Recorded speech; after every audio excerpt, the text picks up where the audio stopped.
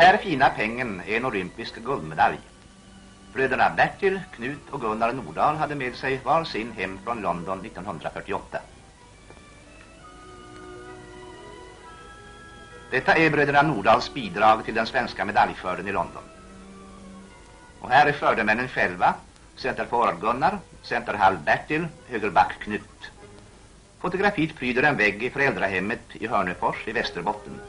Hedersväggen anser nog pappa Emil och mamma Nicolina. Det är kanske från pappa som pojkarna ärvt sin håg för idrott. Man ser på honom att han både varit och är en hejare. Mamma följer också sina pojkars matcher och det är så intensivt att hon under olympiaden aldrig vågade höra radioreferaten till slut. Nerverna höll inte. Ja, se fruntimmer, tänker nog pappa. Ja, se mammor.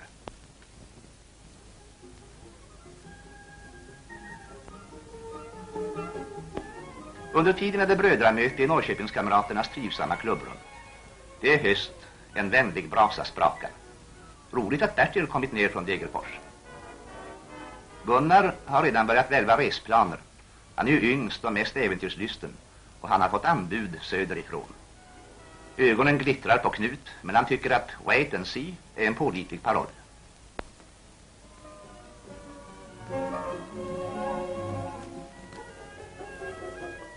Bertils bestämda uppsyn röjer däremot att skulle chansen komma till honom så ämnar han ta den. Den kom ju också vad det led. Gunnar har vid detta laget kanske redan fattat sitt beslut att slå till fram på vintern. Men till dess förblir han vad han varit i många år.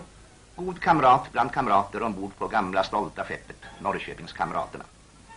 Nästa morgon hjälper Norrköpingstränaren Lajos Seisner de tre bröderna att jaga latmasken ur kroppen, om det nu finns någon latmask. Det är kyligt, det var frost på natten, men Lajos är man att värma upp sina lärjungar.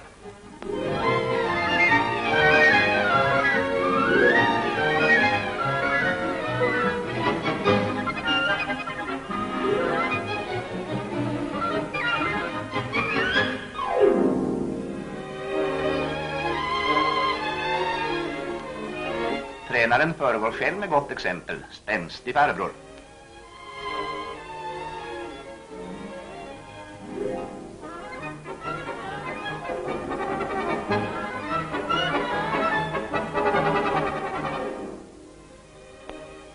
Efter löpning och grundlig gymnastik kommer träning med boll.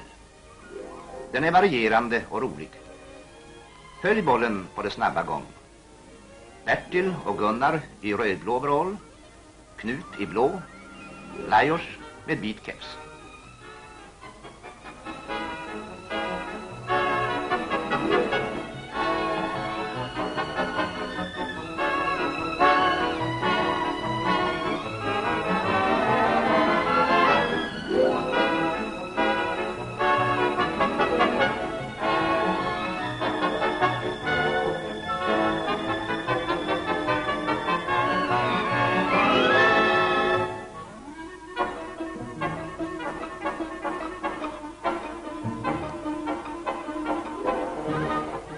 I fotboll gäller det att kunna göra mål.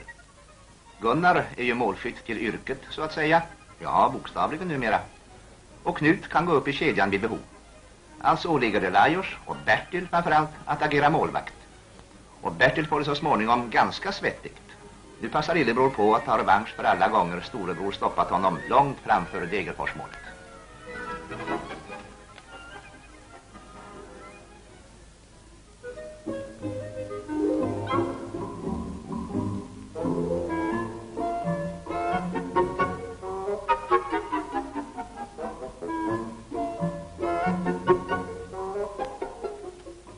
Myras fyras mjukhet, balans och bollkontroll är av det rent cirkusmässiga slaget.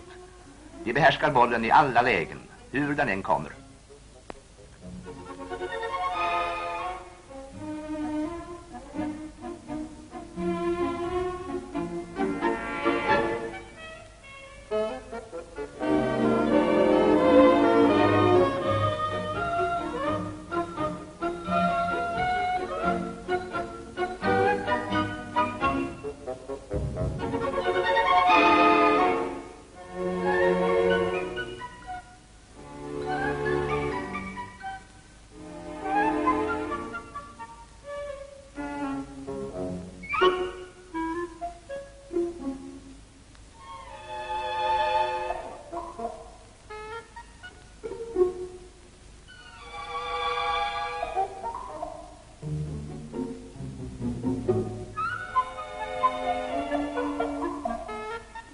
Alla som känner de tre Nordalspojkarna vet att de har goda huvuden, inte bara på utsidan, utan även på utsidan.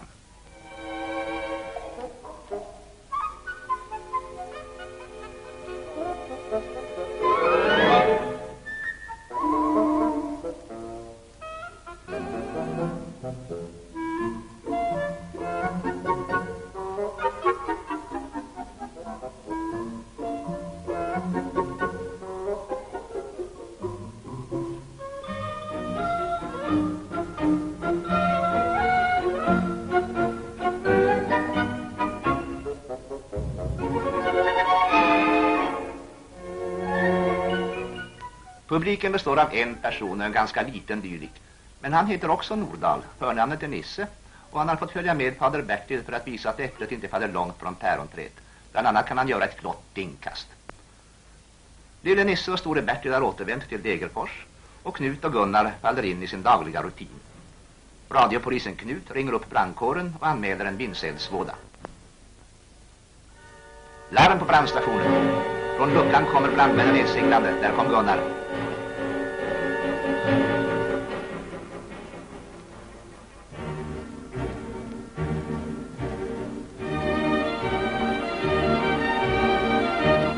Nu är sekunderna dyrbara. Det förefaller som om Gunnar skulle kunna komma bra sent till en match och ändå hinna stå klar till drabbning innan domaren blåser för avspark.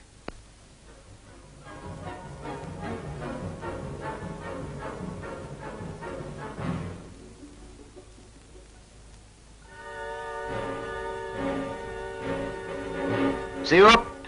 Brandkåren kommer! De stora brandbilarna rusar med hisklig fart genom Norrköpings gator. Men Gunnar är inte den som vantrivs med hårt tempo.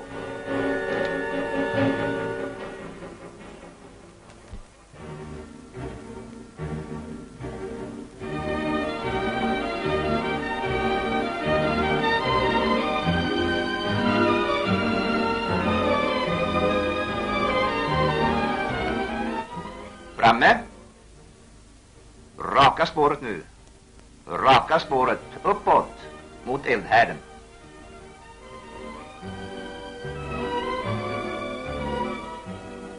Gunnar leder anfallet i vanlig ordning. I en handvändning har han siktat in sig och den lederröda hanen får smaka på närskott av grövsta kaliber och ge sig för dem.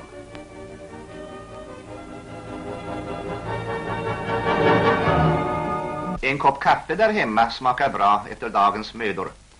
Och lilla rara fru Irma har satt hurran på spisen medan maken Gunnar klätt om.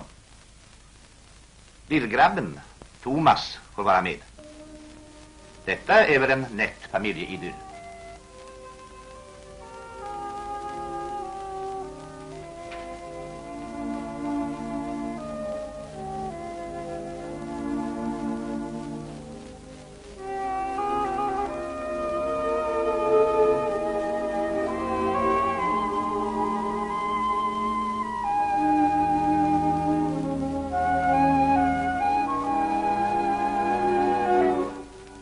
En fotbollsspelares prissamling är sällan stor, men den kan vara förnämlig i kvalitet.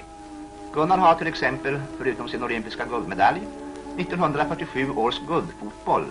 Broder Bertil fick följande års. Och han har ett vackert minne från matchen Storbritannien mot det övriga Europa. I fader Gunnars fotografialbum finns många trevliga bilder att titta på och fråga om, tycker Thomas. Hur kändes det egentligen att vara bland de elva svenskar som efter matchen mot Jugoslavien gick ut som olympiska segrare från Wembley Stadiums fotbollsplan.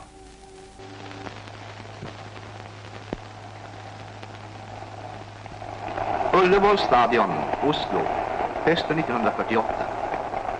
Kung Håkon, han Olav, kronprinsessan Märta och ytterligare 30 000 åskådare såg på när Gunnar satte sitt landskampsmålrekord.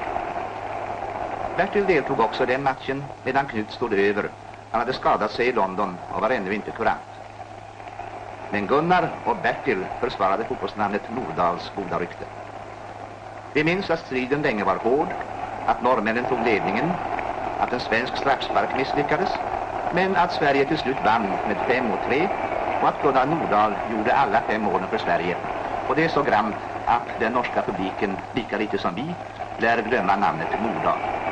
Aj, aj, nu gör Norge ledningsmålet och det är dags för de blågula att visa var skåpet ska stå.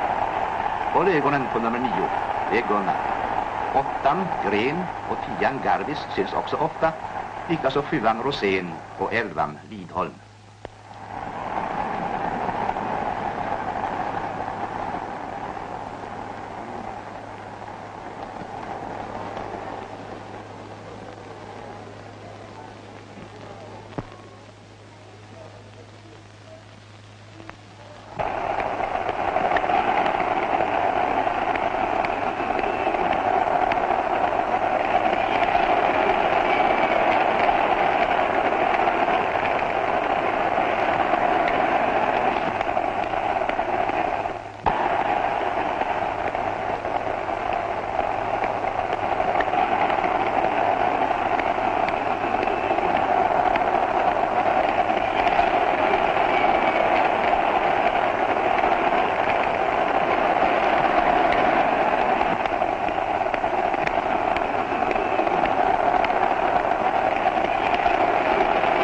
Förlåt nu Gunnar, men skulle du vilja visa oss lite närmare hur du bär gjort när du gör mål?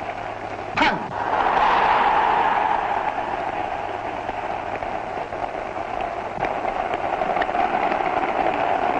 I givakt för kungen, men vi gör honör för tre av vårt landslags stöttepelare, guldbröderna Bertil, Knut